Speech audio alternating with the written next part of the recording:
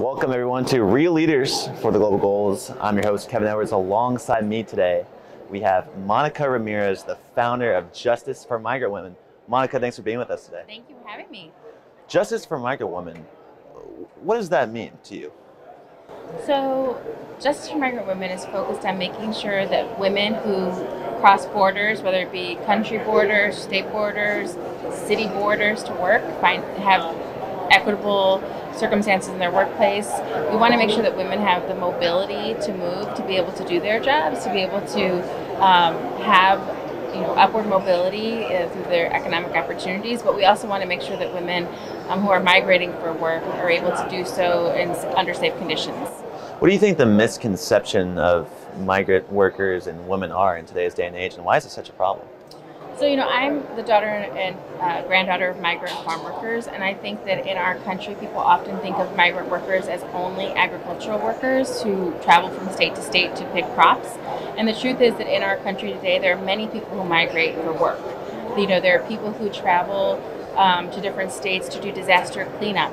There are people who travel um, to do um, high skilled labor the definition of who a migrant worker is in our country is flawed because often people think that it's low paid workers. But there are people in all fields and all industries who are moving across state lines and borders in order to do their jobs. And so um, I think that there needs to be more respect given um, to migrant workers in all the fields that they're working in, and there needs to be an understanding that if people didn't move in order to do, conduct work, our economy basically would come to a screeching halt.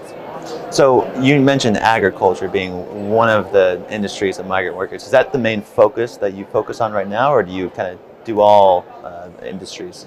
Yeah, so I um, have spent the majority of my career representing migrant farm worker women um, who okay. work in nurseries, um, on farms, and um, in packing sheds. You know, work with produce.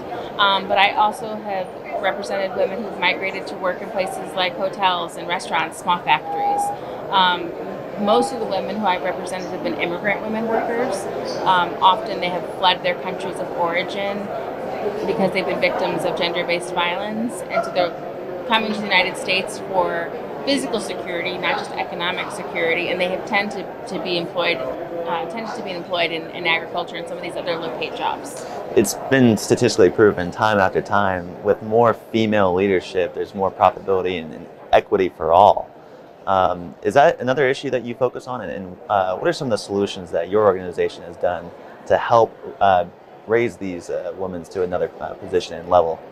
So, gender equity is at the heart of it of what we do as an organization. Um, one of the key issues that we have worked on has been ending workplace sexual violence. So, you know, um, I wrote the letter that was published in Time magazine that's known as the Dear Sisters letter that helped spark what's known as the Time's Up movement.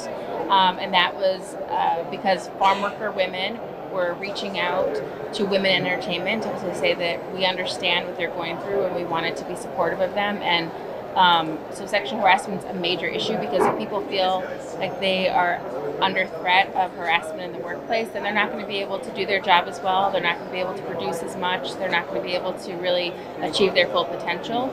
Um, so for us, sexual harassment is very much tied to economic stability. Mm. Um, but we also work on things like, um, you know, ending pregnancy discrimination and making sure that women have the opportunity to get the same kinds of, um, you know, promotions and other opportunities, training.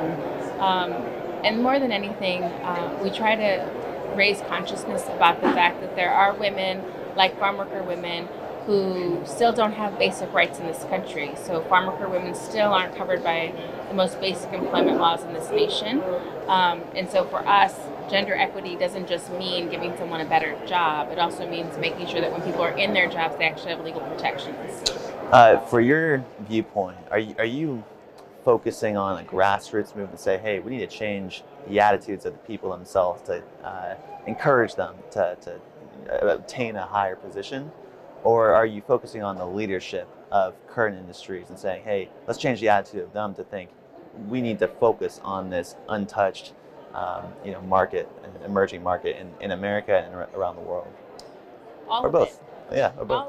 All of it. So we're focusing on the leadership of migrant women workers in the communities where they live, making sure that they have what they need to be able to rise to the um, to the ranks where they can be in a, in a position to change the policies and workplaces. Right. Um, but we're working on uh, changing attitudes of employers towards their employees so they understand that if they treat the workers better, they actually will have better outcomes for the business Right. too. Okay. Um, and then the other thing is we are trying to make sure that um, from a grassroots standpoint, that workers across industries are linked, right? So I had the honor of going Hmm. to the Golden Globes with Laura Dern.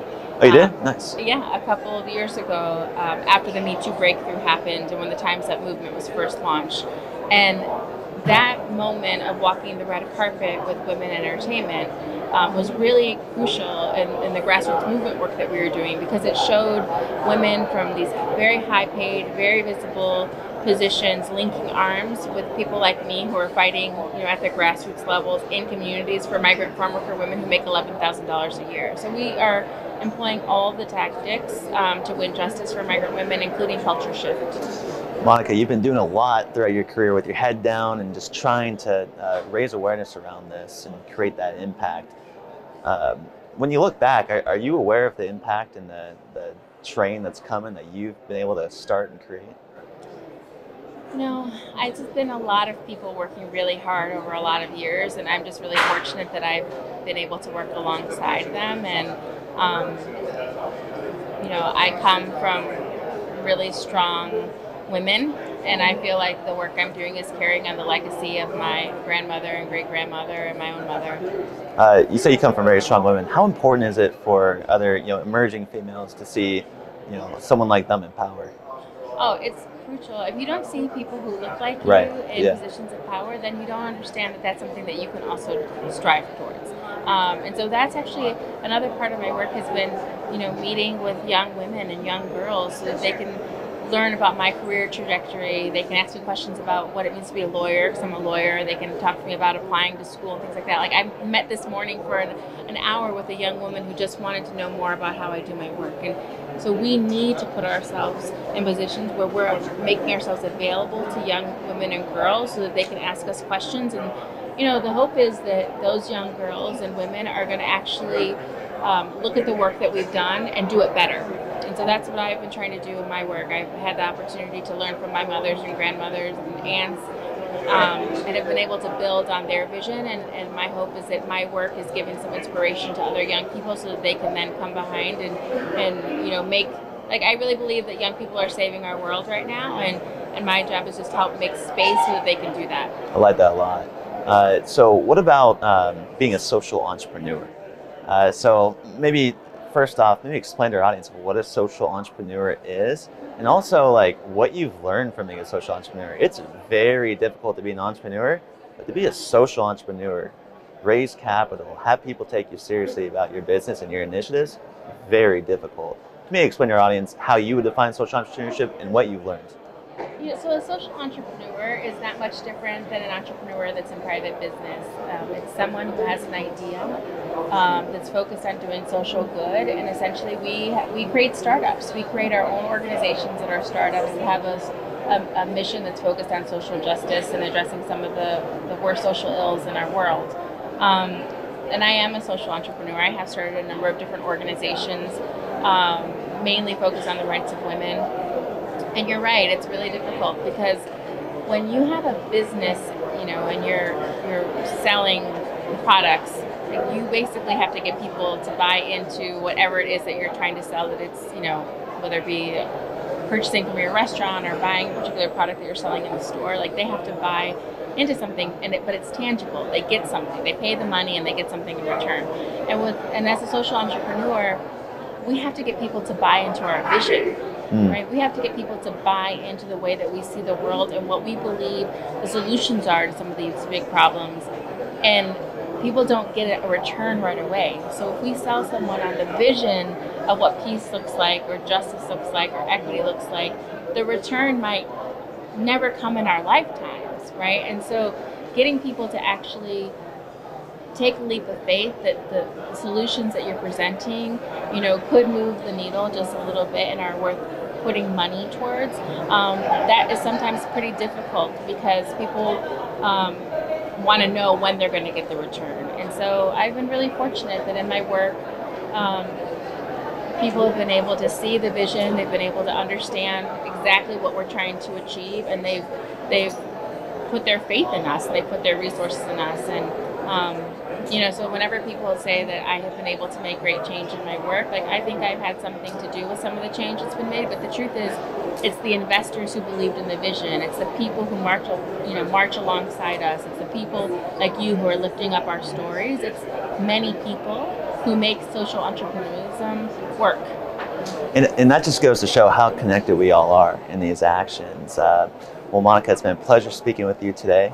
Thank Uh, we talked about a lot. We talked, talked a bit much. justice for migrant women, kind of what it is. Is it starting on a grassroots level? Is it going to leadership? Uh, we talked about uh, how you can um, uh, think about treating women and employing more uh, female leadership positions, regardless uh, of where they come from, as well as the other point that I'm blanking in my head right now, which was on uh, discrimination in the workplace. And and lastly, you kind of wrapped up with being a social entrepreneur, how difficult it is in selling that vision um, and articulating it to the people that need it most.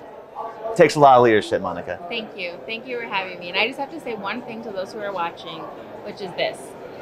For everyone watching, you have to understand that we all can play a role in making the world better. I'm doing my part every day, and you know, Real Leaders is doing its part by elevating those who are trying to make a difference. But you who are watching this, you can also do your part, and we need you to be our allies and our champions. Well said, Monica. Last question I do have for you, though, is what is your definition of a real leader? My definition of a real leader is someone who is able to uh, know when to follow, to know when the, the time is right for them to speak up and step out, and also is someone who has enough courage to be able to both listen and to be able to help make space so that other people's voices can be heard. So it's not just one quality for me, it's a combination of qualities. And it, and it has to do just as much with being the person in the front, you know, the person that's visible, as it does being the person that's in the background that's making the wheels turn. Monica Ramirez, I'm Kevin Edwards, telling you all to set that vision, be persistent like Monica here, join the movement. We're all interconnected somehow in some way, shape, or form. And always, folks, keep it real. Thanks, Monica. Keep it real. I like that. Keep